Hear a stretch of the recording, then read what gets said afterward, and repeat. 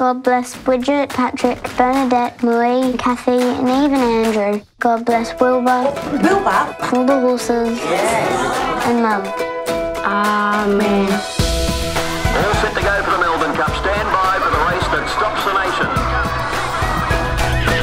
nation. You're riding slow, pick it up. I'm ready, Dad. I want to ride Group 1s. I want to be the best.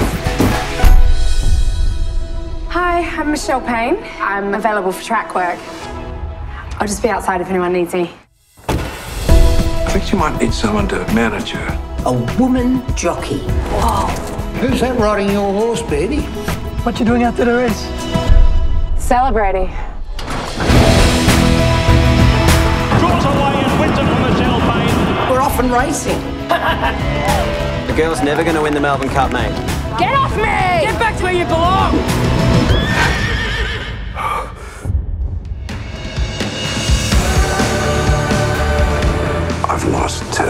Father. What happened if you die?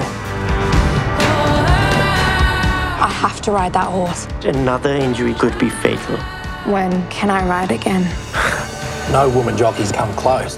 You need strength. You think it's all about strength. It is about so much more than that.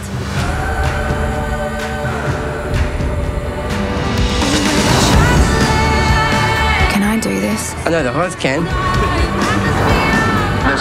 excitement before the Melbourne Cup.